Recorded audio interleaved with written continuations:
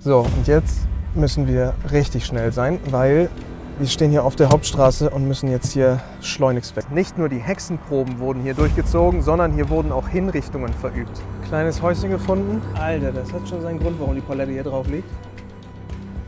Hier ist dann der erste Torbogen. Neun sogenannte Hexenteiche sind hier auf dem Areal angebracht. Und da hat man das anscheinend im Akkord hat man das hier durchgezogen, dass da halt noch dieses Tor vor ist, wo man dann halt durchgehen musste und man wusste halt, was dann passiert. Ne?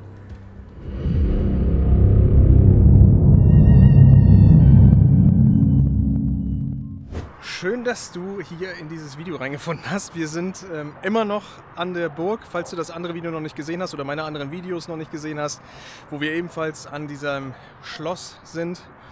Dann äh, schau dir das auf jeden Fall an, damit du verstehst, worum es hier überhaupt geht. In diesem Video geht es darum, dass wir uns das Kellergeschoss einmal genauer angucken wollten. Das haben wir jetzt noch nicht gemacht. Bei den anderen Videos ging es darum, dass wir drinnen waren und uns das Schloss erstmal angeguckt haben. Das hat schon so viel Zeit gefressen, dass wir gar nicht dazu kamen, den Keller genauer anzusehen. Deswegen siehst du das in diesem Teil. Und ja, würde ich sagen, wir labern nicht lange, sondern gehen sofort rein. Als erstes mal wieder die steile Treppe, die nach oben führt. Hier ist der ehemalige Haupteingang, der aber verbarrikadiert ist. Und dann haben wir hier rechts eine offene Tür. Wie gerade eben schon gesagt, geht es diesmal darum, dass wir den Kellerbereich näher erforschen wollen. Tageslicht ist auch schon fast weg. Und jetzt müssen wir erstmal den Weg Richtung Keller, achso, das finden. Also kurze Info, hier gibt es mehrere Kellereingänge. Drei Stück hatte ich gezählt in den vorigen Videos. Und jetzt schauen wir mal.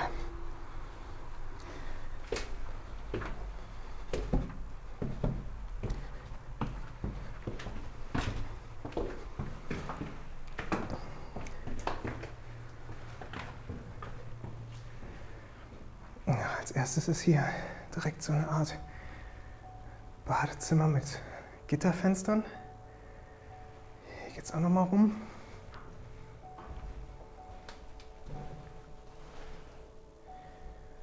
Ist nichts zu sehen, ist nur so eine Art Nische.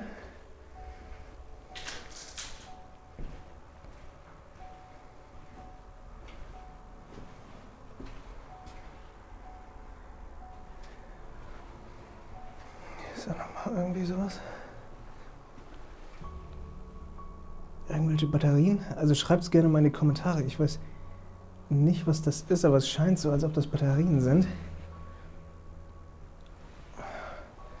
Wofür diese Dinger gebraucht werden, wenn es denn Batterien sind. Ansonsten gerne mal korrigieren, was es denn sonst ist.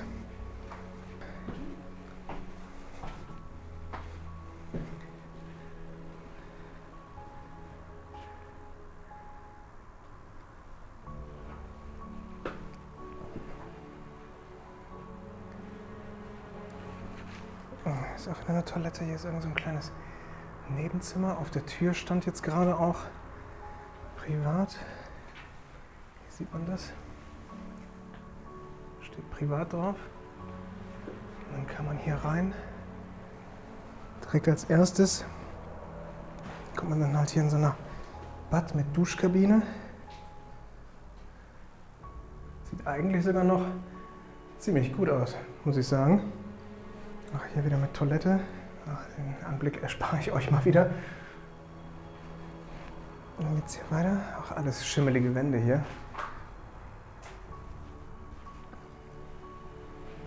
Auch irgendwelche Kabel, die hier abgerobbt wurden. Vermutlich irgendwelche Menschen, die wieder auf der Suche nach Kupfer gewesen sind. Waren dann hier unterwegs und haben hier alles Mögliche von den Wänden gerobbt. Ja. Rollos. Hier ist auch alles noch mit, also hier so ein Gemäuer mit Lehm verputzt. Auch die alte Burg ist eigentlich hier noch komplett vorhanden. Genau, verputzt. Äh. Das ist quasi alles so alt modernisiert wurde.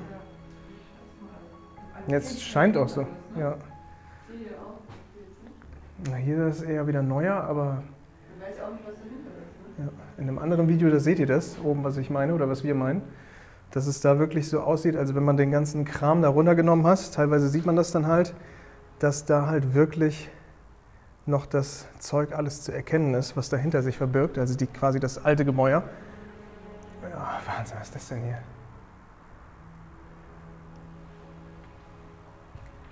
Das war bestimmt hier so eine, also hier war so ein Heizungsregler, kannst du die Temperatur einstellen. Tropft das alles durch, ne? Also über uns ist das ja, so eine Art Herrenhaus oder wie auch man das nennen soll, Männerstübchen, da wo man sich damals zurückgezogen hat. Also die Herrschaften, die feinen Herrschaften, die sich dann da ihre Zigarre gegönnt haben und sowas alles, das ist genau hier oben drüber über uns. Und das ist einem Brand zum Opfer gefallen. Der war 2018 oder 2019, bin mir jetzt gerade nicht so ganz sicher, war dieser Brand gewesen. Sind auch nochmal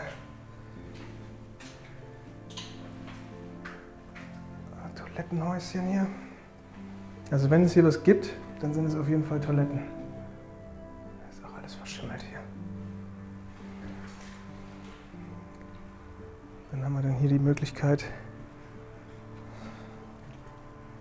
nochmal nach unten zu gehen.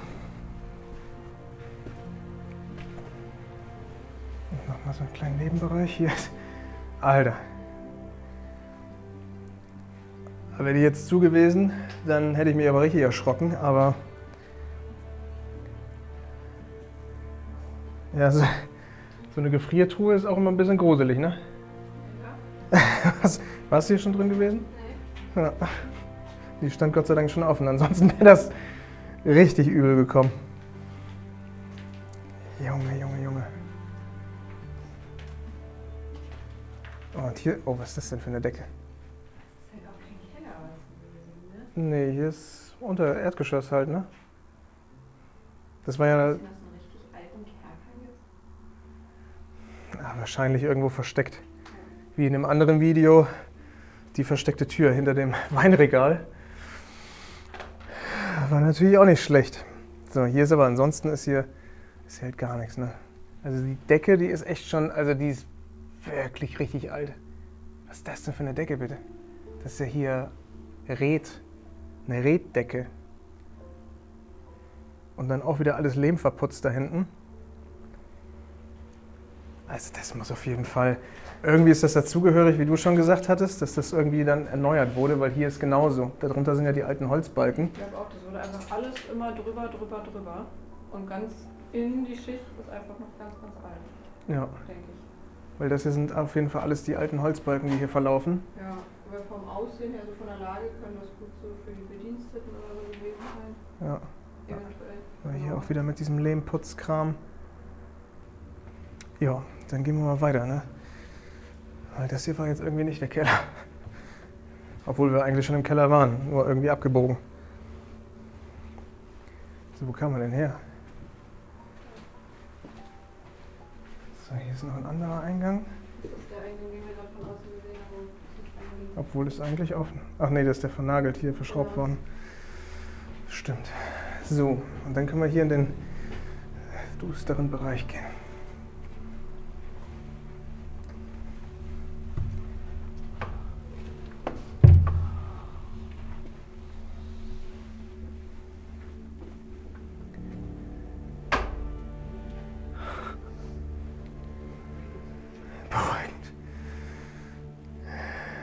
Das hier war, weiß ich nicht. Also hier sind auch wieder so eine Lampen.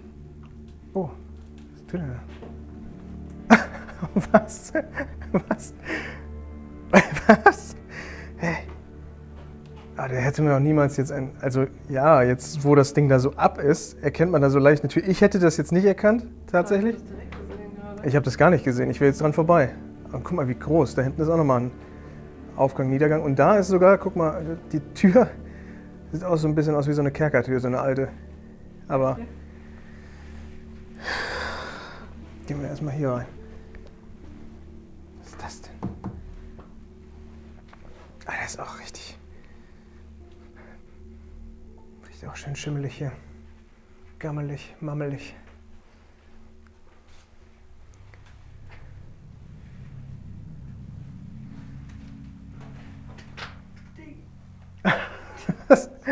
Das, das ist schön. Ich bin extra vor, ich muss noch größer Ach, deswegen soll ich vorgehen. Was ist das denn? Hier ist nochmal eine Tür. Oh. Oh, oh. Mal gucken, wo man hinten Ja, hier ist ein Wasserschlauch, der hier langläuft. Hier steht Fahrkorbstandanzeige. Ach so, hier von dem, von dem Aufzug, der hier reingezimmert wurde. Ist das hier so der, der Betriebsraum? Ja. Also hier sind wir genau hier auf Höhe des Aufzuges. Das hier ist der Aufzug, der jetzt hier noch gerade steht. Ja, und das hier war wohl der Betriebsraum. Hier hat man noch ein altes Telefon.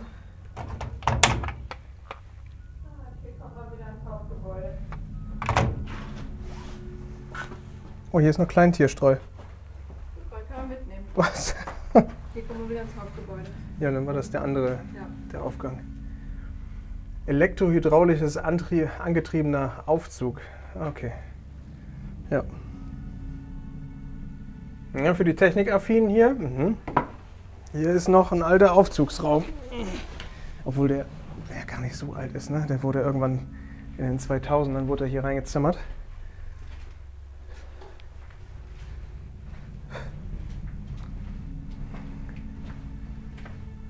Aber hier auch, ne? Obwohl das ein Keller ist, hast du dann halt hier.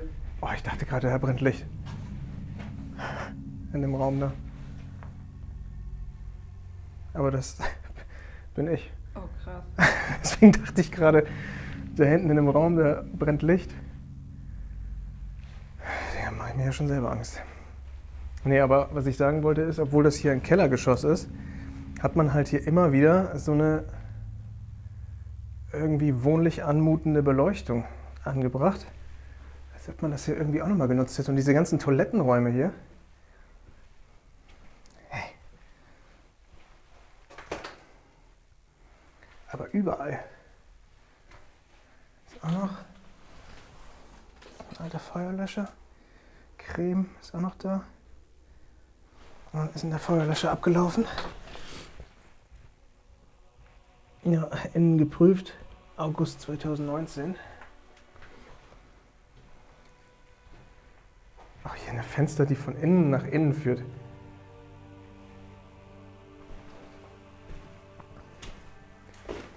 Also man kennt das ja so, so eine kleine Fensterbank. Und, aber das hier ist nochmal eine ganz andere Nummer. So zum Vergleich, das ist meine Hand, Taschenlampe. Da kommt man noch gar nicht dran. Vielleicht mit dem Besenstiel kriegt man die Fenster irgendwie auf, aber so ein dickes Gemäuer. Ist bestimmt auch wieder Toilette. Ne? Ah, tatsächlich, hier war mal ein altes Badezimmer. Und danach waren hier Telefonanschlüsse. Schön. Und hier oben drüber sieht man das auch wieder alles. Es wurde hier mit Teer verputzt irgendwie, abgedichtet. Toilette wurde hier wohl rausgehämmert.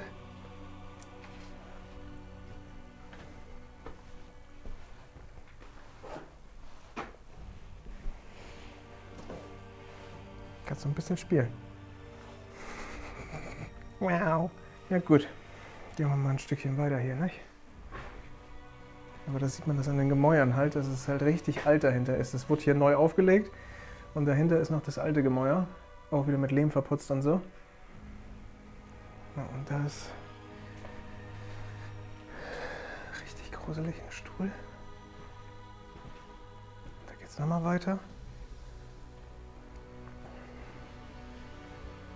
Sieht aber auch noch gut aus. Wow. Hm. Aber die sind nicht so alt, die Türen, oder?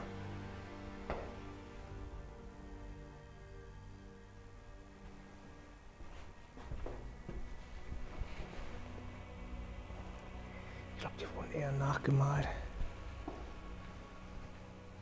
Scheinbar mit so einem Goldstift oder sowas. Vielleicht liege ich hier auch komplett verkehrt und das ist ein Original. Ich habe jetzt gerade einfach gesagt, es ist mit Goldstift nachgemalt. Und das ist so das Ding, was hier alle Museen gesucht haben. Und liegt hier einfach rum.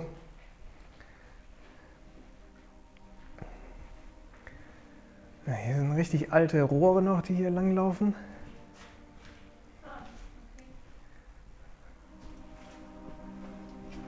Wo geht das denn dahin?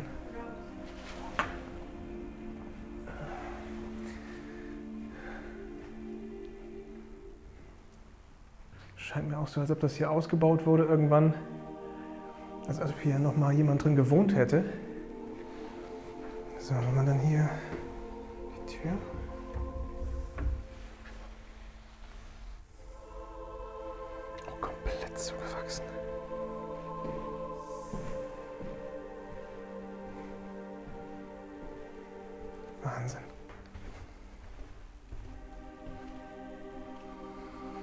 Hier ist halt alles von der Wände gekloppt, ne? Also hier waren ja viele Renovierungsarbeiten, die hier stattgefunden haben. Und jeder wollte ja irgendwie hier draus irgendwas anderes machen.